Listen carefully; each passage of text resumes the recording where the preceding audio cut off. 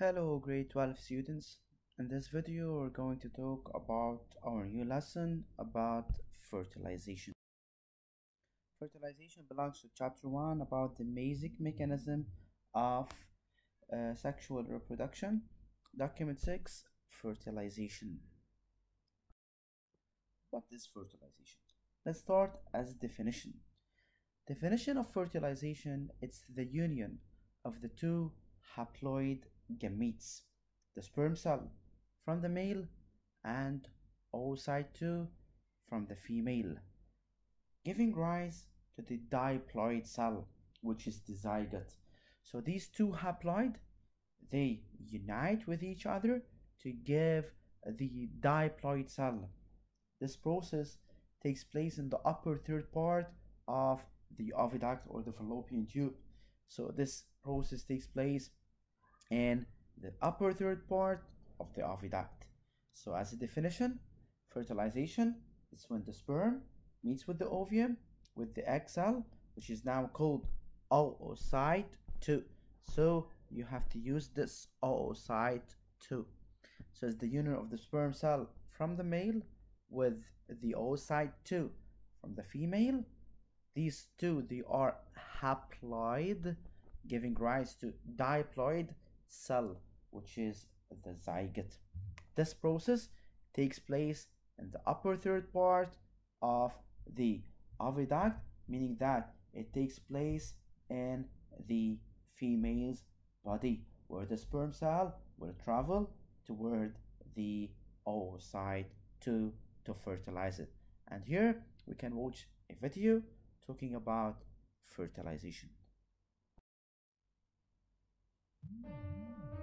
Fertilization is the epic story of a single sperm facing incredible odds to unite with an egg and form a new human life. It is the story of all of us.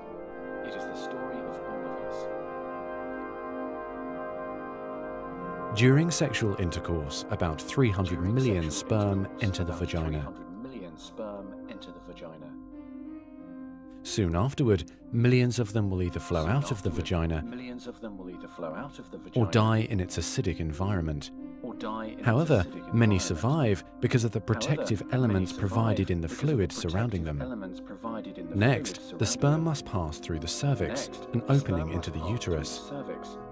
Usually, it remains tightly closed, but here the cervix is open for a few days while the woman ovulates. The sperm swim through the cervical mucus, which is thinned to a more watery consistency for easier passage. Once inside the cervix, the sperm continues swimming toward the uterus, though millions will die trying to make it through the mucus. Some sperm remain behind, caught in the folds of the cervix, but they may later continue the journey as a backup to the first group. Inside the uterus, muscular uterine contractions assist the sperm on their journey toward the egg. However, resident cells from the woman's immune system, mistaking the sperm for foreign invaders, destroy thousands more.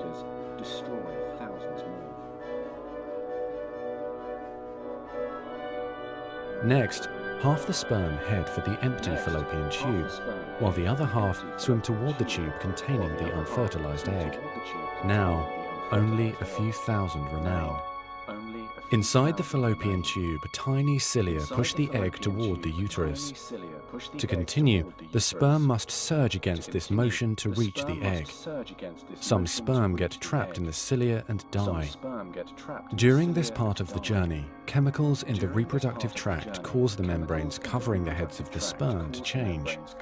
As a result, the sperm become hyperactive, swimming harder and faster toward their destination.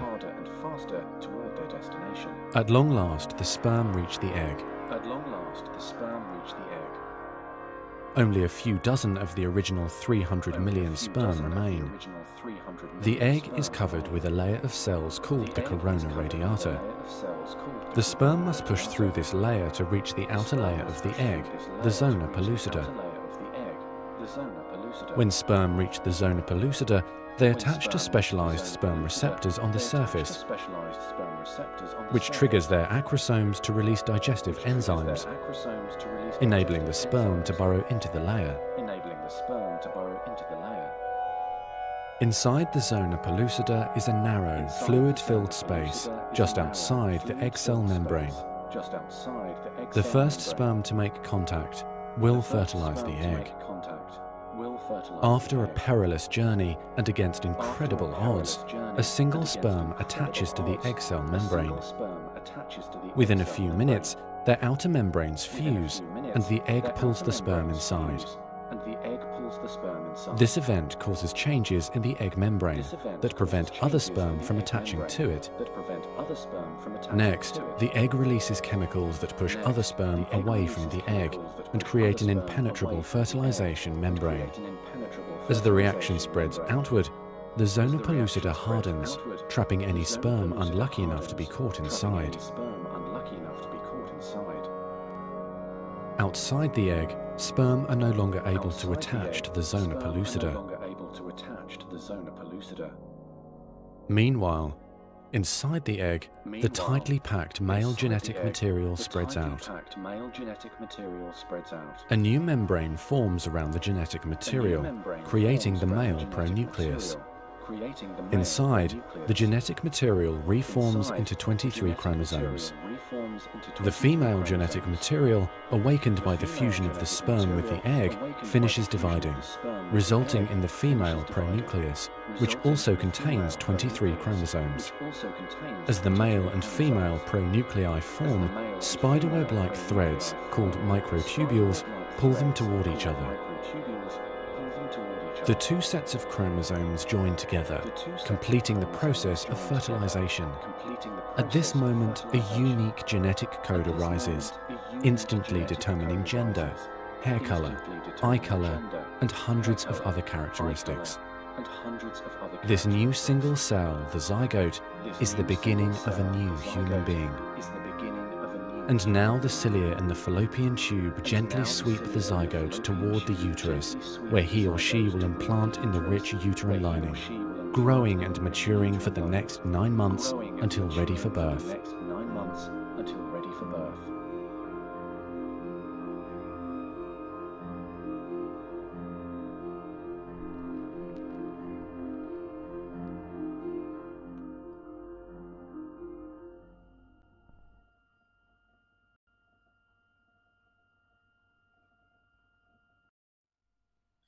So here we start for successful fertilization. What do we need?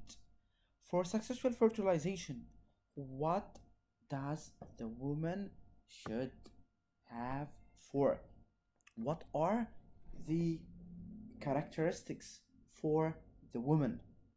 For the woman, for successful fertilization, a woman must be in her ovulation day, meaning at day 14 of the menstrual cycle or a day after that. She should have healthy oviduct and healthy uterus.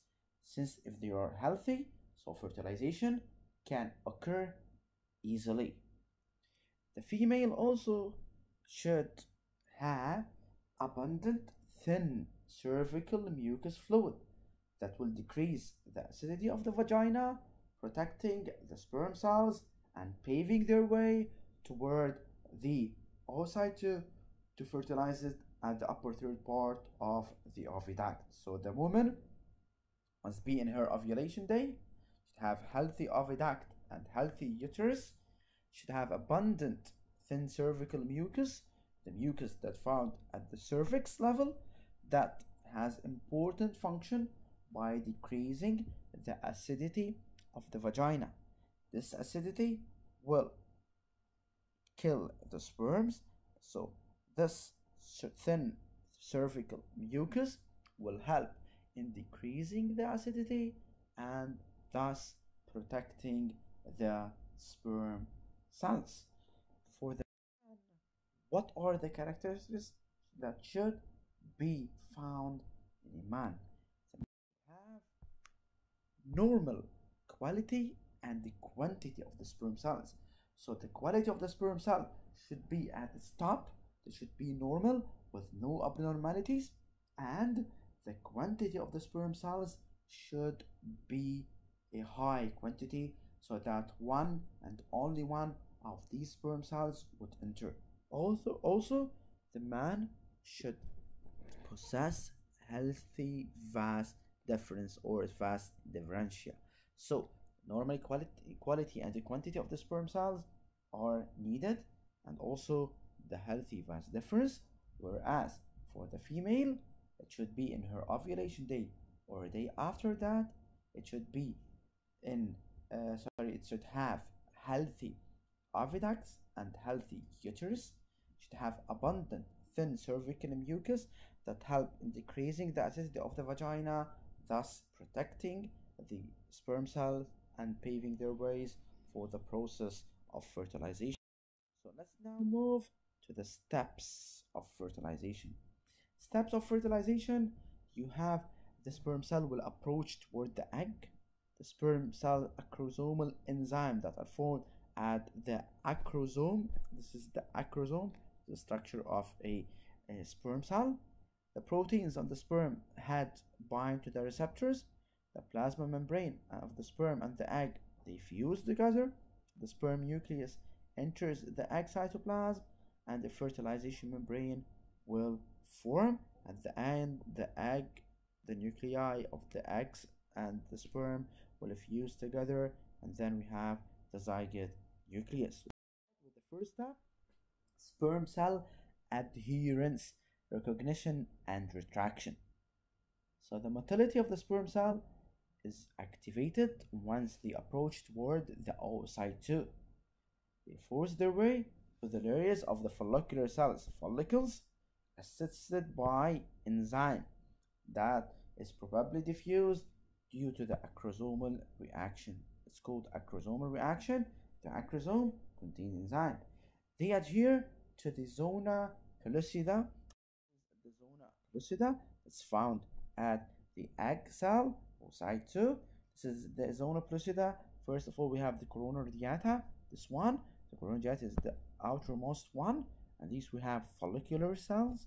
Also, this is the cytoplasm. So it's between the corona radiata follicular cells and the cytoplasm and here we have the membrane so whenever they fuse or they adhere toward the zona pellucida and then what will happen whenever they fuse the sperm cells will fuse and we have the acrosome reaction as sperm heads the acrosome it contains enzyme so they can bind to the membrane they can penetrate we have membrane adherence and we have blocking of what is known by polysperm.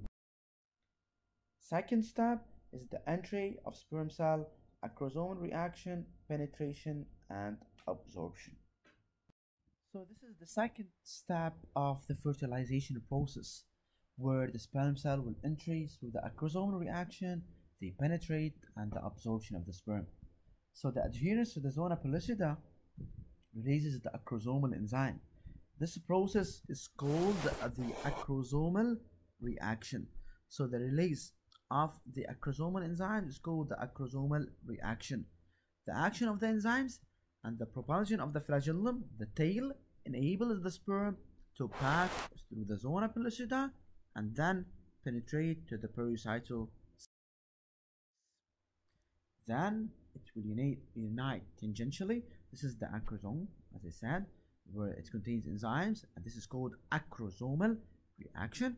This is the flagellum, this is the tail of the sperm cell.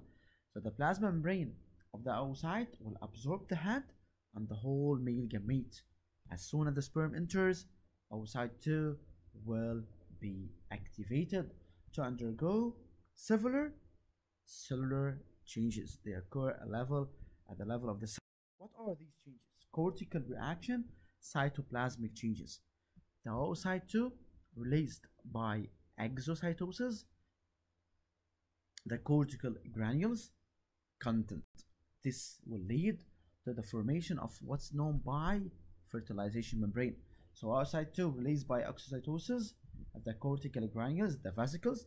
These vesicles, these sacs, contains substances that will lead to the formation of the fertilization membrane. What is the role of the fertilization membrane? This leads to the modification of the zona pellucida and makes it impermeable to other sperm cells. So the zona pellucida will be impermeable to other sperm cells. So this will block what's something known by polyspermy, the entrance of more than one sperm to the to the egg cell.